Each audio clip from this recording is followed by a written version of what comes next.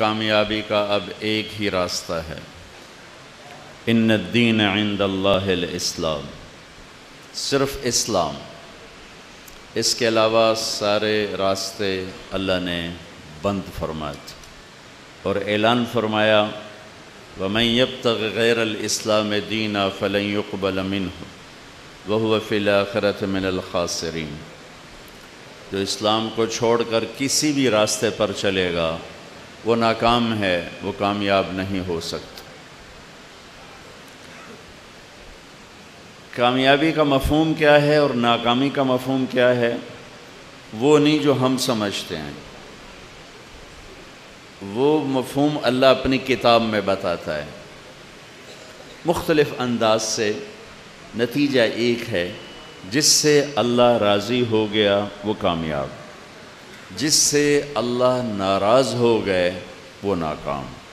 ये सारी आयात, अहदीस का मफहम, जिससे अल्लाह राज़ी हो गया, मर्द, औरत, काला गोरा, बादशाह फ़कीर, वो कामयाब है। जिससे अल्लाह नाराज़ हो गए, बादशाह फ़कीर, मर्द, औरत, वो नाकाम है।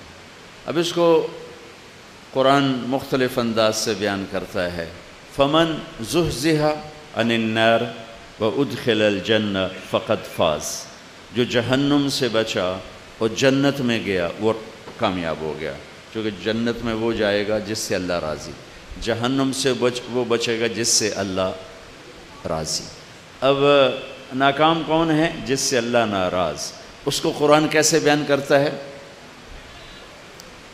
वमन खफ़त मवाजीन फ़लाकल्लिन खसरु अनफुसहम फ़ी जहन्नम खालिदून जिनकी नेकियाँ घट गईं, ये नाकाम हो गए। वो नाकामी क्या है? फ़ी जहन्नम खालिदून। ये हमेशा की जहन्नम में चले गए, हमेशा की आग में चले गए। नाकामी। कुल इन खासरीन, अल्लदीन खसरु व अहलीहम यौमलक़यामा अलाखसरानमबीन सबसे बड़ी नाकामी क्या है? क़्यामत के दिन की नाकामी, जब लोग नाकाम होंगे, वो नाकामी क्या है? लहम मिन फ़ौक़म ज़ुलमिनन्नार व मिन तहतहम ज़ुलल। इनके ऊपर भी आग होगी, इनके नीचे भी आग होगी।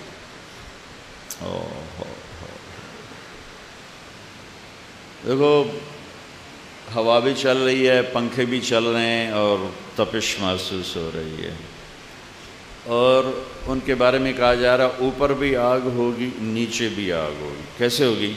नारन अहात बहम सुराद खोहा दीवारें आग की होंगी। इन इन्ना उसदा छत आग की होगी। फ़ी आमदिन मुमद्दा पिलर आग के होंगे।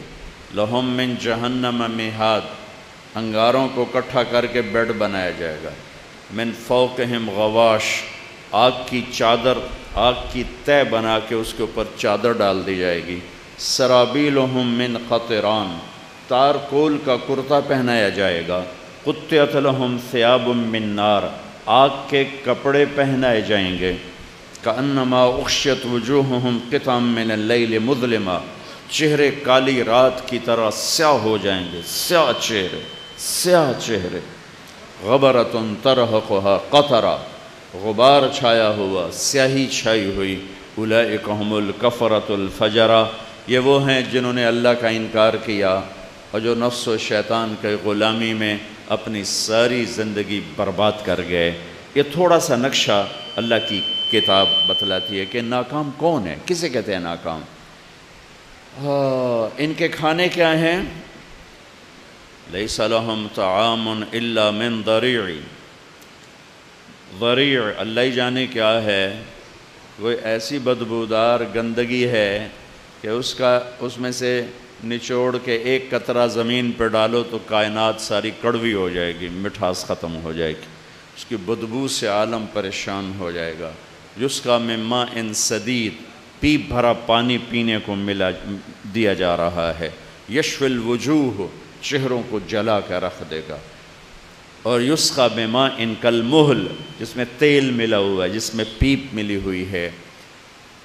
इदिल अगलालफ़ी आनाक़ वसलासिल गले में तोक हैं, बेड़ियाँ हैं, पाँव में गले में तोक हैं, जंजीरें हैं। ये नाकाम ये नाकाम, इसको कहते हैं नाकामी। जो दीन से हटा पूरी तरह, वो हमेशा का नाकाम। जो दीन से हटा अमली तौर पर, एतक़ाद नहीं, मुसलमान है, नमाज़ नहीं, रोज़ा नहीं, हज नहीं, ज़क़़त नहीं, जना है, शराब है, झूठ है, सूद है, खोट है, मिलावट है, गाली है, बदतमीज़ी है, गीबत है, चोरी है, डाका है माँ बाप की ना फरमानी है, और मकर है, फरेब है, ये सारी चीज़ें जो मेरे बाज़ार में चल रही हैं, जो कराची से लेकर पेशावर तक चल रही हैं, लेकिन ईमान है, ईमान पे ख़त्मा हो गया तो जहन्नम तो हो जाएगा। लेकिन जब कभी सज़ा भुगत लेगा तो अल्लाह जन्नत में डाल देगा।